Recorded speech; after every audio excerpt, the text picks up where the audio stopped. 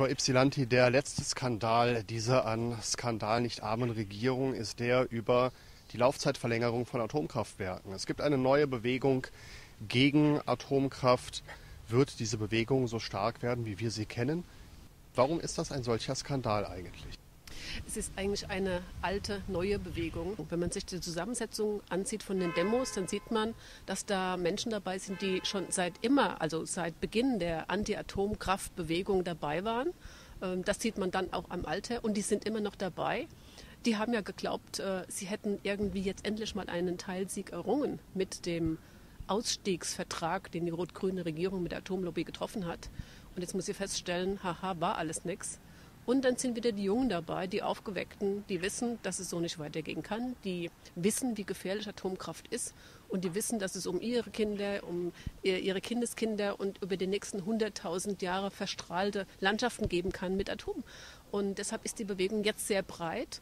Ähm, das ist sehr erfreulich. Ob sie im Endeffekt trägt, das weiß ich auch nicht. Sie sagen ja, es geht hier nicht nur um die Frage der Laufzeitverlängerung, die in den Medien groß und breit diskutiert wird, sondern es geht auch um eine Frage, in welchem Rechtsstaat wir eigentlich leben, äh, denn es hat ja Verträge gegeben. Die Frage ist, Atomstaat oder Rechtsstaat, wie das mal in einem Aufruf äh, zugespitzt war. Denn äh, es gab, wie Sie sagen, einen Vertrag. Der wurde lange ausgehandelt. Und äh, die Atomlobby hat für diesen Vertrag was bekommen. Nämlich bis heute hat sie 50 Milliarden Euro gespart.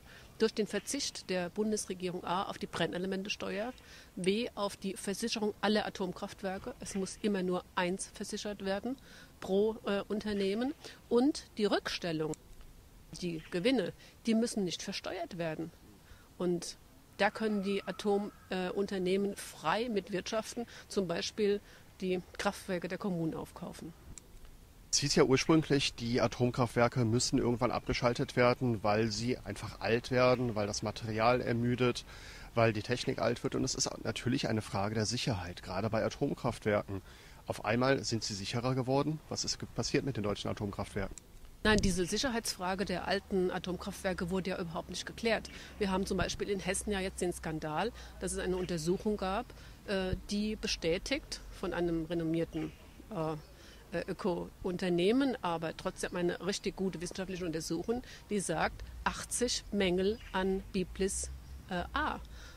Und es gibt keine Antwort darauf, ob diese Mängel jetzt beseitigt werden müssen, welche Mängel beseitigt werden müssen. Es ist ein Schrottreaktor und da wir natürlich eine CDU-Regierung in Hessen haben, wird die Atomaufsicht, die ja beim Land liegt, wahrscheinlich nicht viel tun, diesen Reaktor sicher zu machen. Das ist auch ein Skandal. Eigentlich hätte der, da der Vertragspartner Atomlobby den Vertrag gebrochen hat, hätte man eigentlich überlegen müssen, jetzt muss geklagt werden. Und stattdessen verhandelt man neu. Es sind die alten Sicherheitsprobleme, über die wir reden, die, die schon äh, seit Jahren eine Rolle spielen.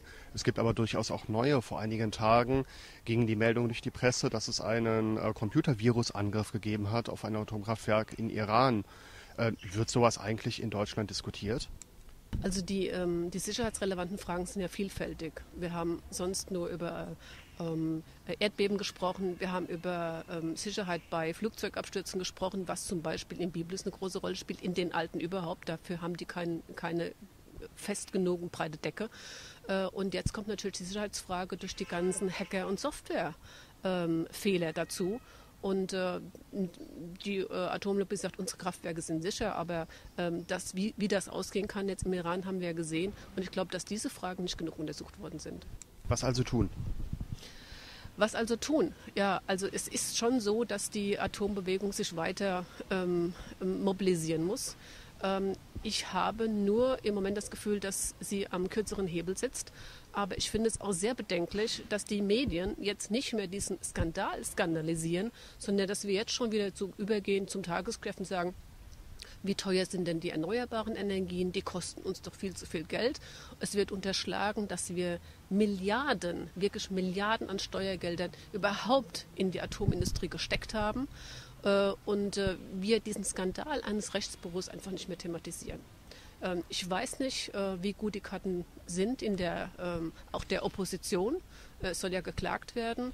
Ähm, ich habe da große Bedenken. Der Skandal liegt in der Regierung.